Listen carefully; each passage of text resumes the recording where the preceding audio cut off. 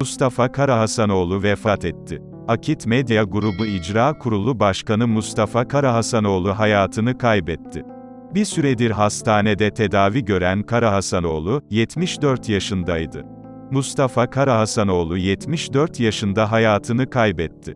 Karahasanoğlu, yıllarca çeşitli yayın organlarında görev yapmıştı. Cumhurbaşkanı Recep Tayyip Erdoğan, Karahasanoğlu için taziye mesajı yayınladı. Cumhurbaşkanı Erdoğan, Sayın Karahasanoğlu'na Allah'tan rahmet, ailesine Seybır-ı Cemil niyaz ediyorum. Akit grubuna ve medya camiamıza başsağlığı diliyorum. Mekanı cennet olsun ifadelerine yer verdi.